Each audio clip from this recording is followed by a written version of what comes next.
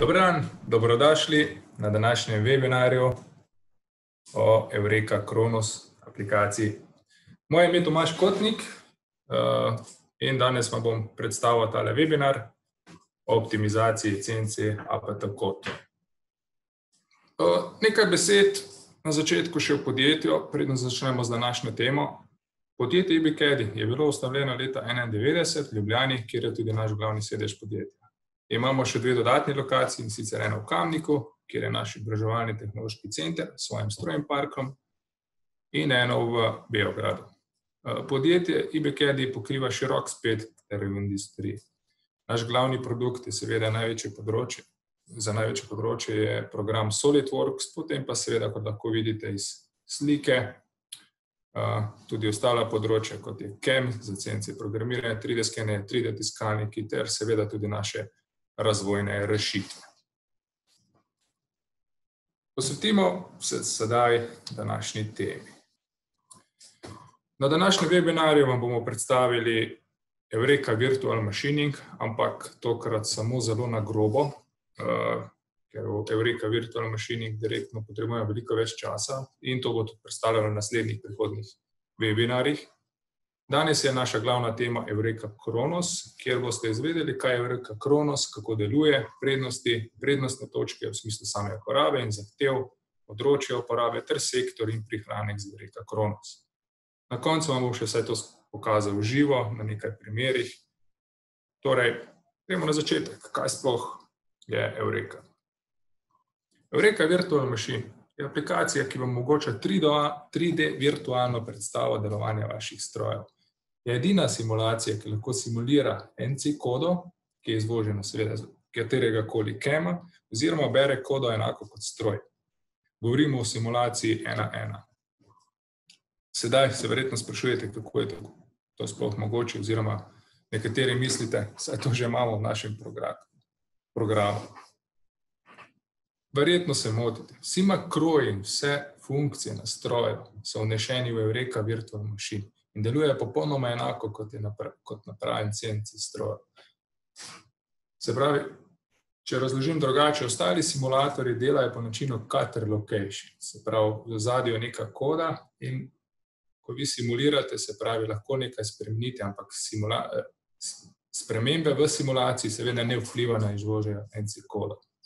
Oziroma, če rečemo tako, če izvoženo NC kodo, vi spremenite in jo želite vnesti nazaj simulacijo, ponavadi to ne gre oziroma niti spremembe niso vidne. Seveda je treba iti v program, to ponovno preračunati in še enkrat simulirati, če je zadeva v redu. Sama simulacija ima ogromno prednosti. Najbolj znana je seveda kontrola kolizije, kontrola obdelovalnega območja, kontrola obremenitve, obratov, velikost odrezka, obstojnost in obraba orodja in še veliko več. Simulacija omogoča tudi funkcije, kot so na primer optimizacija spetega orodja, optimizacija pomikov in obratov za obdelavo, kontrola obdelovalnega kosa s konstruiranim, se pravi narisanim in še veliko več. Trenutno je Eureka na voljo v treh modulih, se pravi standard, pro in premium. Toliko samo na hitro, da predstavim Eureka Virtual Machine. Danes je najbolj, nas najbolj zanima, kaj sploh Eureka Kronos je. Eureka Kronos je aplikacija, ki deluje znotraj Eureka Virtual Machine ali pa samostojno. Omogoča optimizacijo programov ISO in APT formata ob upoštevanju orodij in lastnosti obdelovanca samo enim klikom. AI, Artificial Intelligence, oziroma algoritem umetne inteligence, ki je patentiran strani Roboris, omogoča analizo vseh premikov, da se zmanjša čas obdelave in poveča življenjska doba orodja z izračunom sil, navora med obratovanjem in orodjem. Seveda je tudi razmerje med porabljeno močjo, debelino odrezka in odstranjeno prostornino materiala v enoti časa. Kaj dobimo? Dobimo veliko bolj skrajšani čas obdelave, se pravi do trideset procentov, zmanjšanje stroškov orodja, zmanjšanje vibracij, boljšo kvaliteto orodja, nenehno odstranjevanje materiala in seveda, ko govorimo o enostavnosti oziroma v v hitrosti, se pravi, same enostavnosti programa, seveda govorimo tudi o industriji štiri pika nič. Poglejmo sedaj, kako sploh Eureka Kronos deluje. Se pravi, CAM sistemi ustvarjajo poti orodja, kjer pomik ostane konstanten, tudi če se pogoje rezanja spremenijo.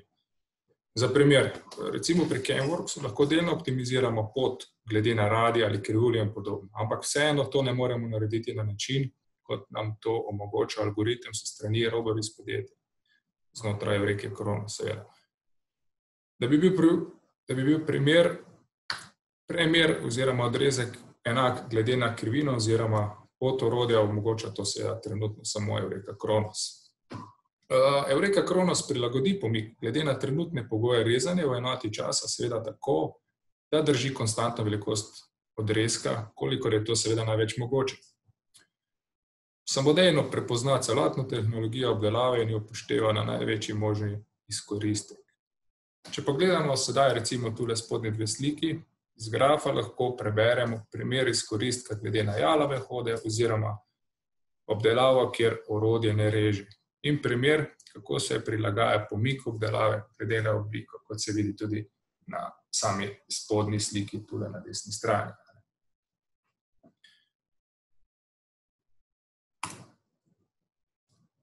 Pa da povzamem nekaj prednosti. Uh, zaradi konstantnega odrezka in vseh ostalih faktorjev zmanjšamo čas obdelave. Obdelave se po so po optimizaciji do 30% hitrejše. Seveda ne vedno, ampak po poprečju med 20 do 30 odstotkov sigurno. Orodje med obdelavo deluje na veliko, če tako rečem, na gladek način, kar omogoča, da se lahko poveča življenjska doba orodja, zmanjša se vibracije in površina obdelave veliko lepša. Seveda je še več drugih prednosti, kot je naprimer manjša obremenitev na vreteno, daljša življenjska doba stroja in podobno. To je samo nekaj prednosti uh, glavnih strani Eureka Kronos. Uh, se strani uporabnikov pa bomo raje izpostavili nekaj prednostnih točk. Uh, glavne prednostne točke bi bile naprimer neposredna optimizacija NC programov, uh, enostaven za uporabo, poenostavljena konfiguracija. Ko govorimo o neposredni optimizaciji, govorimo o povečanju storilnosti in če tako imenujem novo življenje, manj posodobljeni opremi strojnih orodij s preprosto prilagoditvijo NC programov. Eureka Kronos izkorišča prednosti najsodobnejših umetnih algoritmov, zato da je postopek čim bolj avtomatiziran. Ni potrebnih posebnih veščin za uporabo programa. Uporabo programa se lahko naučimo v nekaj urah. Eh, za preračun oziroma optimizacijo 3D modeli stroja sploh niso potrebni. Za optimizacijo potrebujete samo osnovno kinematiko stroja, krmilje, mere sorovca in ISO program oziroma NC kod. Um, Če ste želeli, uh, lahko tudi nam pošljete kasneje na infoafnebikedi.com, kakšen primer, ne, da tudi za vas preračunamo uh, optimizacijo za določene NC kode. Seveda. Zdaj pa pogledamo, komu je sploh Eureka Kronos namenjen. V bistvu je namenjen vsem, ki želijo izboljšati produktivnost in optimizirati NC programe. Če je stranka že uporabnik virtualnih mašin simulacij, potrebuje samo še dodatni modul za optimizacijo. Za tiste, ki pa želijo optimizirati NC programe, pa je na voljo uh, samostojna verzija. Seveda, tisti, ki bi želeli samo optimizirati. To so ponovadi tisti, ki imajo podjetje, recimo, tri osne stroje, za katere ni potrebno posebnih simulacij, saj tri osne stroje niso tako zahtevni za razumevanje. Eh, Eureka Kronos se lahko uporablja skratka posod, kjer imamo razkalne CNC obdelovalne stroje, bodi si v splošni industriji, avto industriji in tudi v industriji, kjer obdelujejo recimo kamnine. Čeprav pri nas ta sektor ni preveč razširjen. Za stružnice, stružnice z gnanimi orodji ali pa avtomatne centre tipa Swiss, Eureka Kronos ni preveč priporočljiv, ker ne dobimo takšnega izkoristka, da bi se nam to izplačalo svet struženja je že v osnovi zelo optimiziran. Mogoče bi lahko uporabili samo v primerih, kjer odstranjujemo veliko materijala oziroma delamo z gnanimi urodji, oziroma pri bolj, bom rekel, multitasking strojih, kjer veliko reskamo tudi na same stružnice. Dajmo si sedaj pogledati eh, nekaj o samem vračilu investicij. Se pravi, lahko rečemo, da so skromni prihranki časa lahko privedejo tudi do pomembnih prihrankov pri denarju. vračilo investicije v reka Kronos je zelo enostavno za izračunati. Se pravi, na spletni strani od Eureka imamo kalkulator, s katerim lahko enostavno, grobo izračunamo prihranke.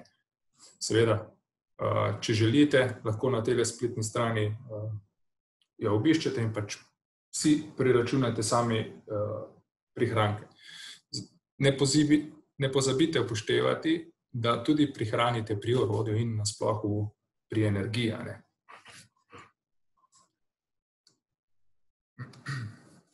Ok, gremo se sedaj pogledati, uh, Eureka Koronos, kako sploh deluje v živo.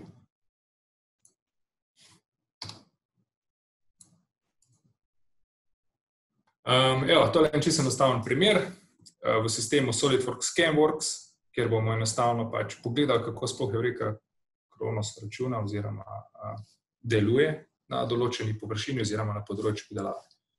Sam sistem Camworksa omogoča direktno povezavo z Eureko, se pravi, ko izvozim kodo, enostavno določim zagon v naši simulaciji in zadevo potem simuliram, optimiziram, kaj pač potrebujem. Za začetek bomo vse skupaj naredili v področju Eureka, Virtual Machine, kasneje bom tudi pokazal, kako deluje na standalone aplikaciji.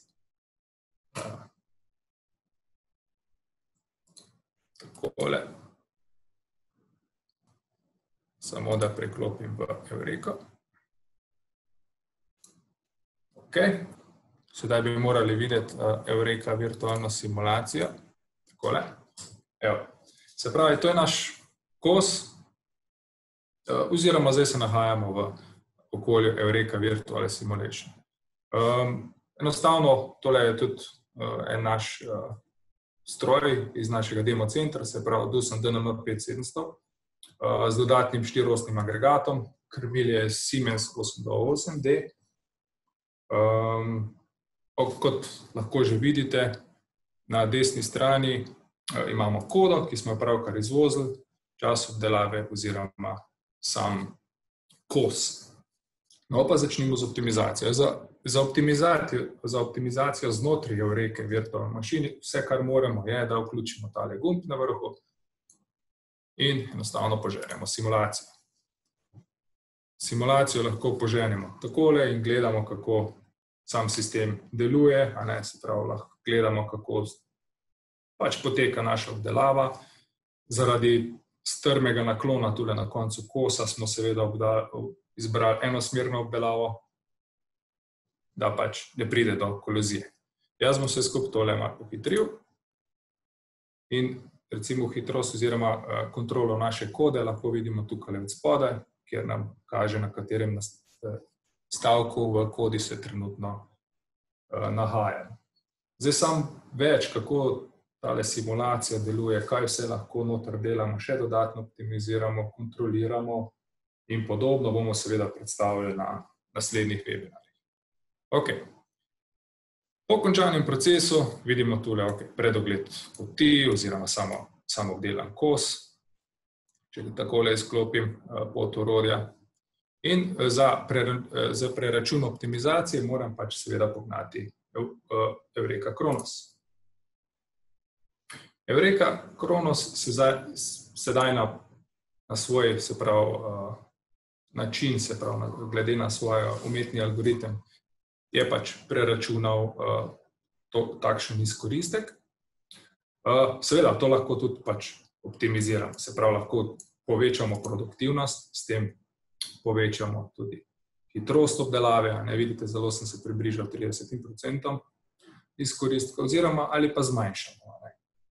Zdaj, kako je Eureka Kronos optimiziral, lahko tule v spodnjih oknih, glede na pomik, recimo, vidimo v vsakem področju, se pravi na določeni poziciji, kjer smo v določenem stavku, kako je pač koda sama kot taka optimizirana. Ne? Z barvo in z miško se lahko postavimo določen stavek in vidimo optimizacijo. V spodnjem, spodnjem grafu uh, pa vidimo seveda, kakšen je naš volumen odreska.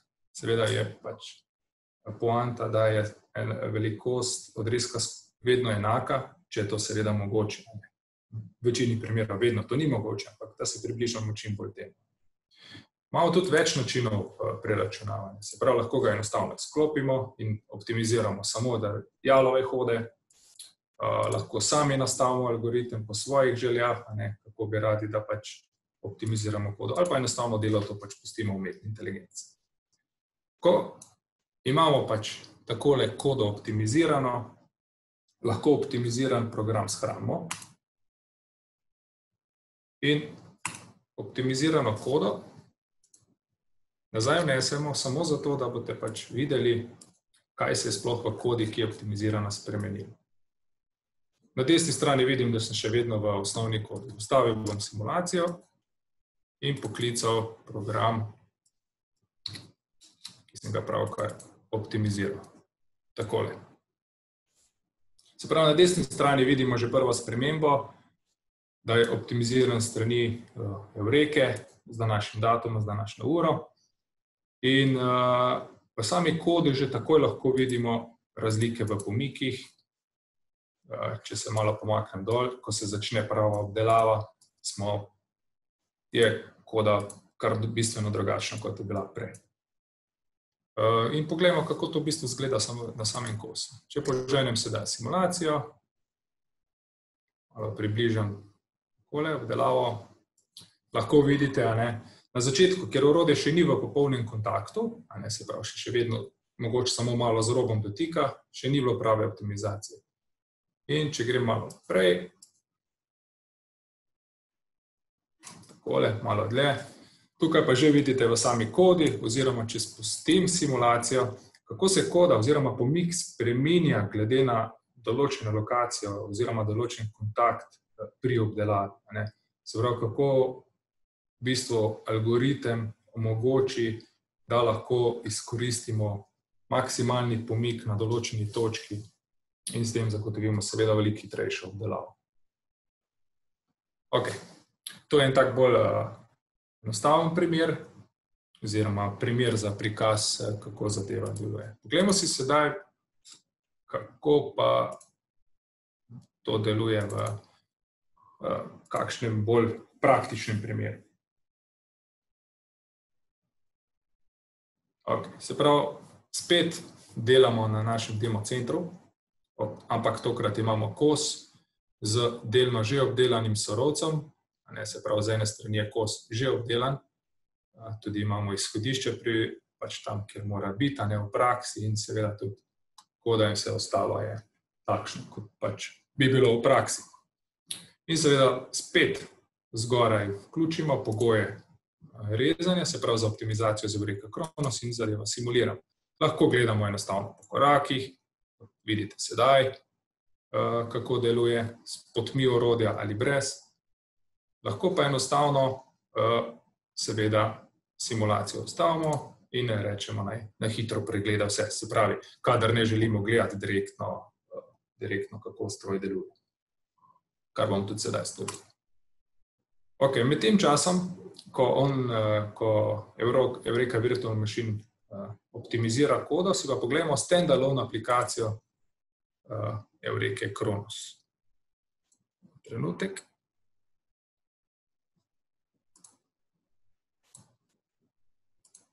Takole.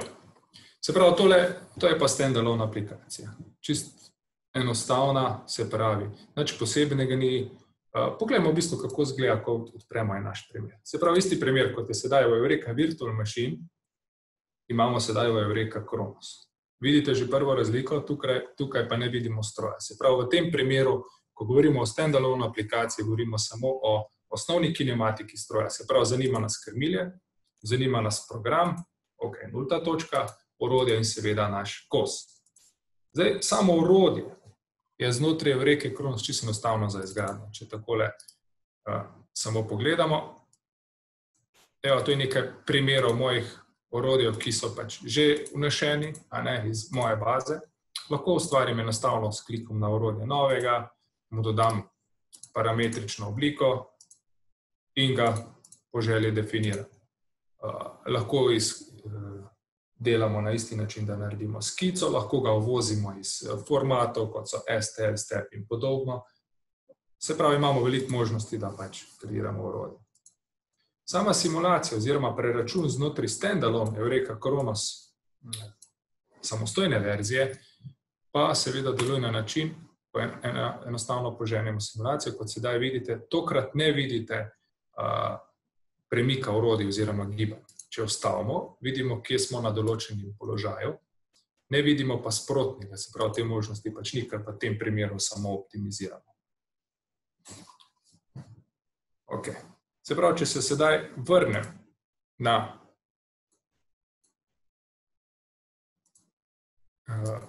Eureka Virtual Machine aplikacijo, takole, lahko vidimo, da se med tem časom seveda že optimizacija zaključila. Z zagonom, enako kot prej, Open Kronos, v meniju se odpre aplikacija, ki pač preračuna našo novo pot orodja, naš izkoristek, nastavimo, se pravi, indeks izboljšava, se pravi, se nagnemo bolj produktivnosti, a življenjski dobo orodja, zadevo potrdimo. Vse te funkcije lahko lahko upoštevamo za vsako orodje posebej. Kot vidite, tu na levi strani imamo tokrat šest orodij in v določenih orodjih, kot je dva, tri in štiri, je optimizacija nič. Zakaj? V bistvu tu gre za obdelave, kot so vrtanje, se pravi, rezovanje navojev, se pravi, povrtavanje in podobne cikle, ne, kjer pač sama optimizacija ni ni potrebna, niti ni mogoča zaradi samih ciklov, ne. Če bi delali po G-kodi, direktno, mogoče v tem primeru pa ja. Se pravi, jaz lahko rečem v tem primeru samo za orodje številka pet, lahko povečam produktivnost, potrdim, dobim ponoven prezračun, za orodje številka šest pa mogoče zmanjšam, ker je mogoče malo krhek, kaj pa vem, a ne. Se pravi, to sami veste v praksi. In seveda spet shranimo optimizirano kodo in damo na stroj. Okej, poglejmo, kaj smo dobili sedaj pa v Eureka Kronos, samostojni aplikaciji.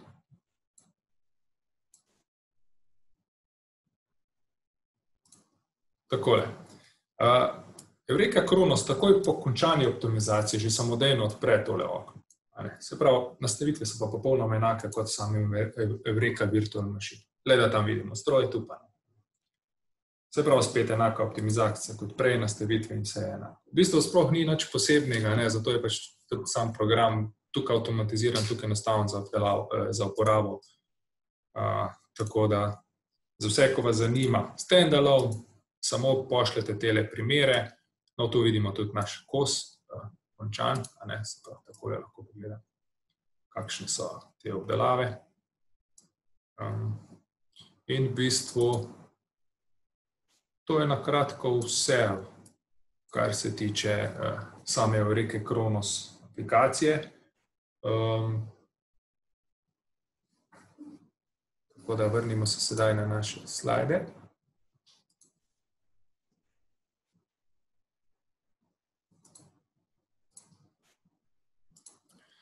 Evo, takole.